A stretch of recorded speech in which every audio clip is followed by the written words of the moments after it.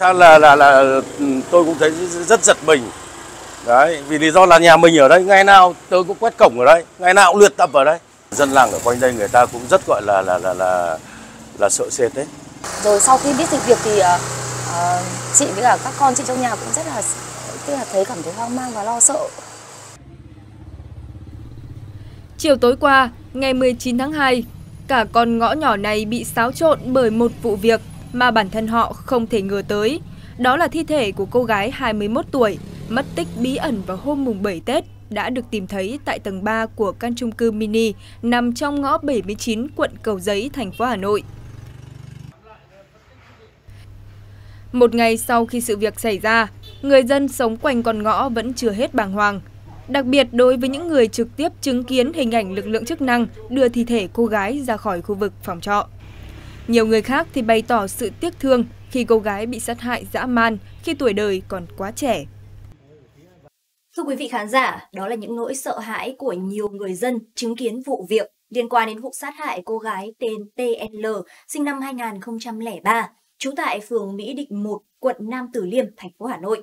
Mất liên lạc từ hôm 7 Tết Giáp Thìn Đến tối 19 tháng 2 thì ờ, công an thành phố Hà Nội cho biết đơn vị đã xác định và bắt giữ nghi phạm là HMH sinh năm 2004, quê quán Bắc Giang để tiến hành lấy lời khai. Điều tra làm rõ vụ việc. Thời điểm hiện tại thì vụ việc đang được ngành chức năng xử lý, tuy nhiên rất nhiều người tò mò về nguyên nhân dẫn đến vụ việc đau lòng này là vì đâu. Và tại sao cô gái trẻ mới chỉ 21 tuổi lại bị sát hại dã man đến như vậy?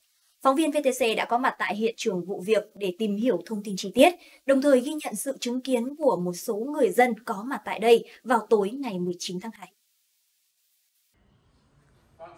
Căn nhà này chính là hiện trường nơi phát hiện thi thể của chị L, 21 tuổi, ở phường Mỹ Đình 1, quận Nam Từ Liêm, thành phố Hà Nội.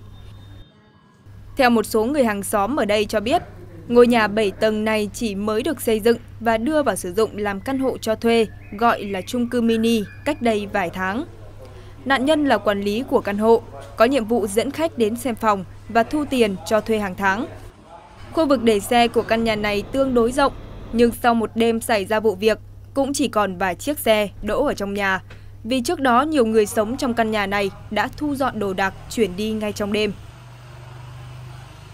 Ở thời điểm thi thể nạn nhân được tìm thấy tại căn nhà này, ông Trần Viết Hổ, người dân sống ở gần khu vực hiện trường, cũng là người chứng kiến gần như toàn bộ sự việc diễn ra vào ngày 19 tháng 2 cho biết.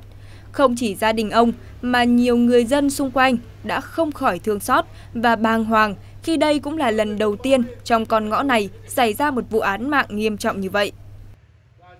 Tức là chú đi tập thể dục về, thì khoảng 4 giờ thì chú về tới ngoài đầu ngõ này thì là có có cái, có công an mặc dân sự. Xong một lúc sau thì tôi hỏi thì là bảo có vụ giết người ở đây. Đấy, thì thực ra chứng kiến từ lúc đấy đến 10 giờ đêm cơ mà. Đấy, đến khi mà đưa thi thể ra này, rồi công an quận cầu giấy này, công an phường yên hòa này, rồi ờ, công an ờ, tôi thấy nói là công an thành phố hà nội thì tất cả lực lượng ờ, dồn về đây cũng tầm độ khoảng đôi ba mươi người gì đó thì thấy bảo là mình cũng thấy anh em nói là là là thằng đấy nó giết cô bé này vứt vào trong, để vào trong cái tủ ấy, trong tủ quần áo ấy. Tôi cũng thấy rất giật mình. Đấy, vì lý do là nhà mình ở đây, ngày nào tôi cũng quét cổng ở đây, ngày nào cũng luyện tập ở đây. Dân làng ở quanh đây người ta cũng rất là sợ sệt đấy. Người ta cũng hoang mang đấy. Ví dụ như cái cái bác vừa xong đấy, là vợ bác cũng rất sợ.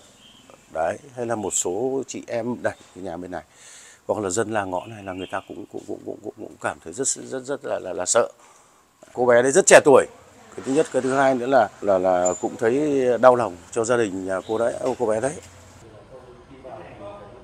vì căn hộ này mới được xây dựng và đưa vào sử dụng làm căn hộ cho thuê cách đây vài tháng, nên hầu hết người dân sống ở đây cũng ít khi tiếp xúc hay gặp gỡ nạn nhân.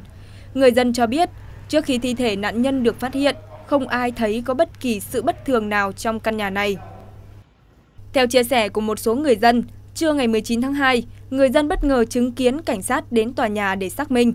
Sau đó hàng xóm cũng chứng kiến cảnh sát hình sự chở một nam thanh niên bịt kín mặt và một cán bộ mang manơ canh đến hiện trường. Công tác dựng lại hiện trường vụ án, xác minh, điều tra vụ việc tại hiện trường diễn ra trong vài giờ đồng hồ. Đến khoảng 18 giờ 15 phút cùng ngày, nhân viên y tế cùng cảnh sát hình sự đưa một thi thể từ trong ngôi nhà đi ra xe cứu thương. Thời điểm thi thể được đưa ra khỏi phòng, trong phòng sặc mùi dầu gió. Và chỉ đến khi biết chuyện, nhiều người dân mới thấy lo sợ và hoang mang trước cái chết của cô gái trẻ.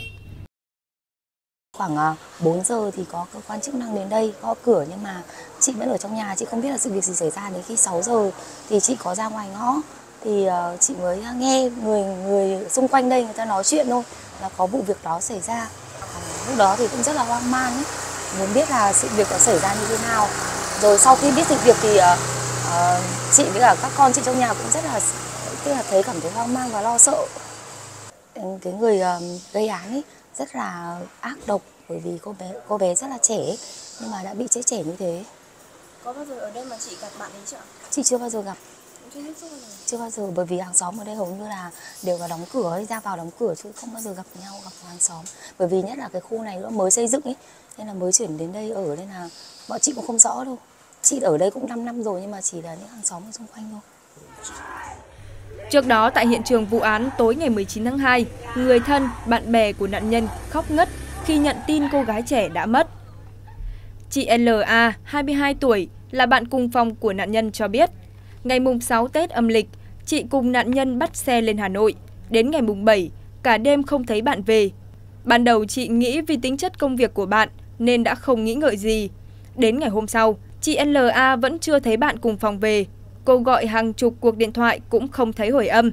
Nhiều ngày sau không thấy bạn đâu, chị LA hốt hoảng lên cơ quan công an trình báo.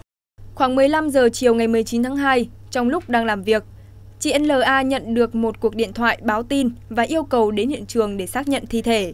Ngay sau đó, chị NLA tức tốc chạy đến hiện trường. Trên đường đi cô vẫn hy vọng một phép màu sẽ xảy ra và đó không phải là người bạn của mình. Nhưng khi đến hiện trường, cô ngất đi khi nhận tin dữ, bố của nạn nhân đã vào xác nhận thi thể cô gái bị sát hại chính là bạn của mình. Chị NLA cũng chia sẻ, nhà nạn nhân có hoàn cảnh khó khăn, người mẹ đã mất cách đây 4 năm. Nạn nhân cùng với bố gồng gánh kinh tế để nuôi hai em, một người học cấp 1, một người mới lên lớp 11. Vì hoàn cảnh gia đình khó khăn, nên chị L chỉ tập trung vào công việc, vì vậy cô vẫn chưa có ý định yêu đương, ước mong lớn nhất của L trong năm nay cho đến 1-2 năm tới là có thể xây được căn nhà mới, mua được một chiếc ô tô cho gia đình, có thật nhiều tiền để nuôi hai em ăn học. Vậy mà ước mơ chưa kịp thực hiện, chị L đã bị sát hại. Hiện thi thể nạn nhân đã được người nhà đưa về quê để lo hậu sự. Thưa quý vị, theo lời khai ban đầu thì đối tượng HMH sinh năm 2004 quê ở tỉnh Bắc Giang, nghi phạm sát hại cô gái trẻ đã thừa nhận hành vi phạm tội của mình. Cơ quan cảnh sát điều tra đã khởi tố bị can đối với đối tượng H để điều tra về tội giết người và cướp tài sản. Hiện lực lượng chức năng vẫn đang tiếp tục điều tra và làm rõ nguyên nhân vụ án mạng đặc biệt nghiêm trọng này. Chúng tôi sẽ liên tục cập nhật những tin tức mới nhất về vụ việc trong các bản tin tiếp theo. Cảm ơn quý vị và các bạn đã quan tâm theo dõi. Xin kính chào tạm biệt và hẹn gặp lại quý vị trong những chương trình sau.